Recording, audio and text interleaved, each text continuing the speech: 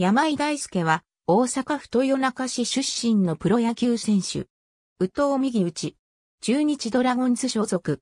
少年時代はボーイズリーグのミノースカイラークに所属。神戸高陵高校時代には後にプロでチームメイトとなる玉野博正と同級生だった。3年夏は県大会準優勝。同じく一学年下に元西武ライオンズの佐藤由紀がいる。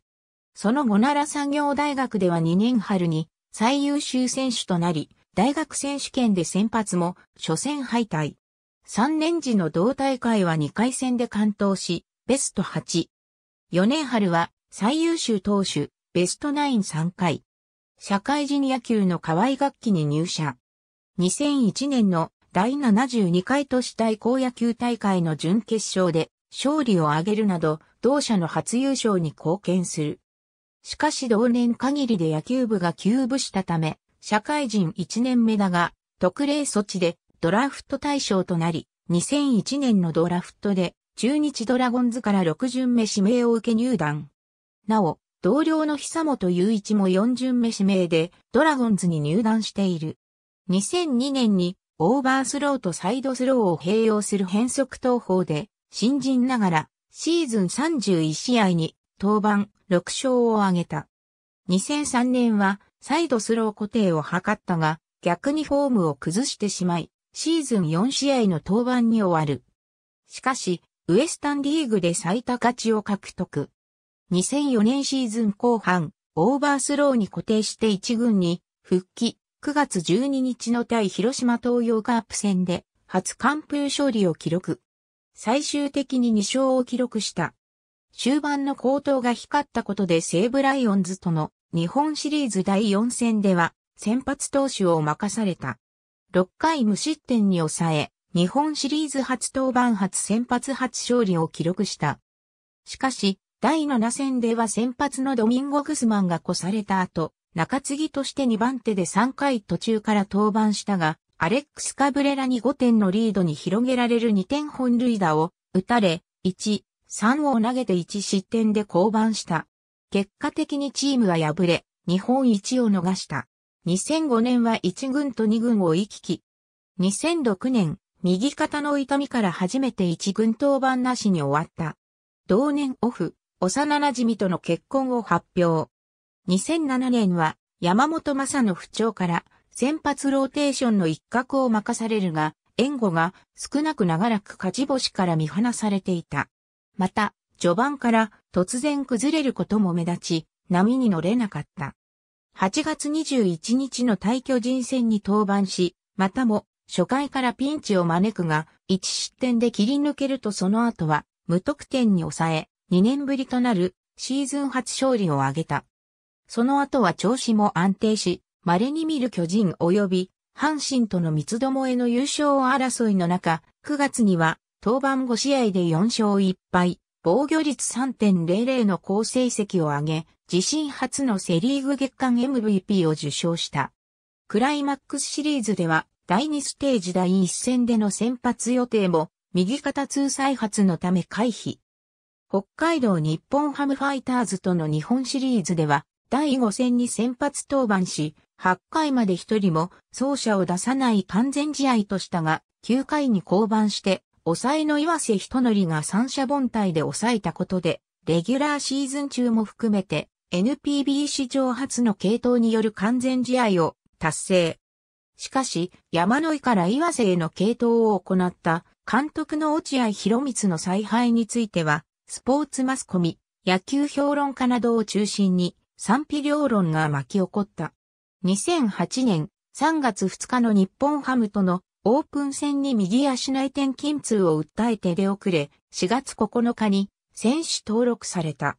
4月17日の対読売ジャイアンツ戦に先発し、7回を1失点に抑えるも、敗戦投手に。しかし、2試合に登板したのみで、右肘痛のため出場選手登録を抹消された。その後、クライマックスシリーズで再び一軍登録されるも、不甲斐ないシーズンとなってしまった。2009年、エースの川上健信が抜けたことにより、先発ローテの一角を担うことが期待された。しかし、開幕1軍はならなかった。4月15日に同年初の1軍昇格。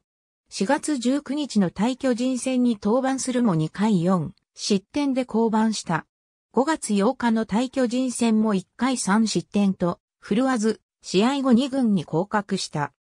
その後は1軍復帰し、岩瀬人則の故障時に自身4年ぶりとなるセーブを記録するなど中継ぎでの登板が多くなった。オフにドミニカウインターリーグのエストレージャスオリエンタレスへ、浅尾拓也、谷哲也、長峰昌司と共に派遣。ここでは2、3回で3失点を喫した1試合のみの登板に終わる。2010年は4月6日の対横浜ベイスターズ戦で3年ぶりの勝利投手となる。7月16日の広島戦では6年ぶりの完封を飾り、この試合以降でプロ野球新記録となるチーム5試合連続完封を記録することとなった。また8月18日の対巨人戦で巨人打線を8回終了時まで無安打に抑えていたが、9回の先頭打者、坂本隼人に初被安打、初失点となる本塁打を打たれ、直後に岩瀬に交代した。その後のヒーローインタビューでは2007年日本シリーズにおける完全試合目前の系統を受け、やっぱり8回までしか持ちませんでしたと自虐的にコメントした。肩、肘に疲れの溜まりにくいフォームに改造し、かつての決め球である落差のあるスライダーとも、決別、直球、フォークに新スライダーとカーブを組み合わせるスタイルにモデルチェンジしたことが要因とされる。巨人戦に相性がよく4試合に登板し3勝0敗、防御率2.73だった。2011年は、吉見和樹やチェンの故障により、シーズン前は開幕投手候補と言われたが、右ひちの違和感で開幕1軍を逃し、その後は左足首の骨折もあり、シーズン終盤まで1軍に定着できなかった。8月に1軍昇格して、以降は先発で3勝を挙げた。福岡ソフトバンクホークスとの日本シリーズでは、第4戦では1点ビハインドの場面で、リリーフ登板し、2回を無安打無四球に抑えた。両チーム3勝3敗で迎えた第7戦で、先発したが、3回途中1失点で、敗戦投手となっている。2012年、監督の高木森道と、投手コーチの権藤博士の思案もあって、中継ぎから始まった。4月17日の巨人戦から4試合連続で先発したほか、5月8日の対広島戦ではロングリリーフも務めた。中盤からは浅尾拓也が肩痛、岩瀬が成績不振で登録を抹消されて8月2日からセットアッパーと抑えを務めた。1年で先発、中継ぎ、ロングリリーフ、抑えと1人4役をこなし、初めてシーズンを通して1軍に帯同。自己最高の56試合登板、防御率1.43、15セーブ、13ホールドを記録した。クライマックスシリーズでも、浅尾、田島真司と共にセットアッパー及び抑え投手として貢献した。